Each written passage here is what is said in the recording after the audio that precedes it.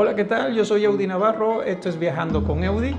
Si tu próximo destino es viajar a Cuba, yo te invito a que veas el siguiente video donde te traigo los lugares más visitados en Cuba y el tiempo que pasarás en cada uno de ellos.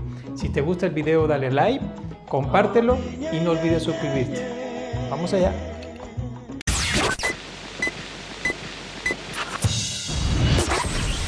En Cuba encontrarás diferentes destinos turísticos, cada uno en diferentes ciudades, que debe tener en cuenta a la hora de planear tu viaje.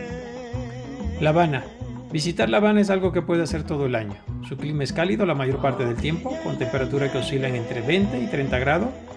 Clima perfecto para disfrutar un mojito o daiquiri, recorrer sus calles entre autos clásicos y disfrutar su arquitectura colonial. En La Habana la vida transcurre entre música, monumentos, atractivos históricos, baile, son, cha-cha-cha, mambo, timba y lo mejor, su gente. Tres o cuatro días serían suficientes para tu estancias allí. Viñales. Viñales es un pequeño pueblo de la provincia de Pinal del Río. Su principal atractivo turístico son sus peculiares montañas en forma de mogotes, con una hermosa vista. En el Valle de Viñales puedes hacer excursiones a caballo, a pie o a bicicleta. La convivencia con los campesinos y habitantes de este valle te llevará a conocer todo lo relacionado con el cultivo del tabaco. Un día de estancia es más que suficiente para este lugar. Varadero. En Varadero encontrarás las principales cadenas hoteleras que han construido sus hoteles a pie de playa, equipado para satisfacer cualquier deseo del turista. Lo que hace a Varadero el lugar ideal para los que buscan un merecido descanso, donde predominan las playas de arena blanca, el agua cristalina, el buen paladar y la vida nocturna. Dos o tres días son suficientes para una estancia en Varadero. Los Cayos. Los Cayos de Cuba son el sueño de todo aquel que busca la relajación y la diversión más completa.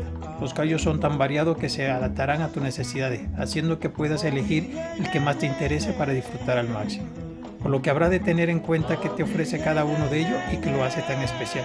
Dos o tres días son más que suficientes para disfrutar la estancia allí. Camagüey, también conocida como la ciudad de los tinajones, es la tercera ciudad más grande de la isla de Cuba. Posee un alma católica de la que carece el resto del país. Al caminar por sus calles estrechas descubrirá una ciudad de iglesias barrocas y altares dorados que no podrá dejar de visitar. Un día es más que suficiente para tu estancia ahí. Santiago de Cuba.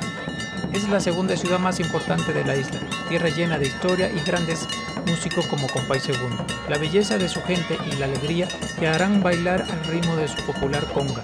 Dos días serán suficientes para disfrutar las estancias ahí. Baracoa, ciudad primada y monumento nacional. Es la ciudad más antigua de Cuba, fundada por Diego Velázquez en 1511. Es una tranquila ciudad colonial que se encuentra entre montañas que la hacen única como el Yunque y la Bella Durmiente. Posee una gran variedad de vegetación y fauna endémica que la convierte en un paraje exótico con sus ríos de agua cristalina y sus bellas playas. Dos días será más que suficiente para disfrutar su estancia ahí.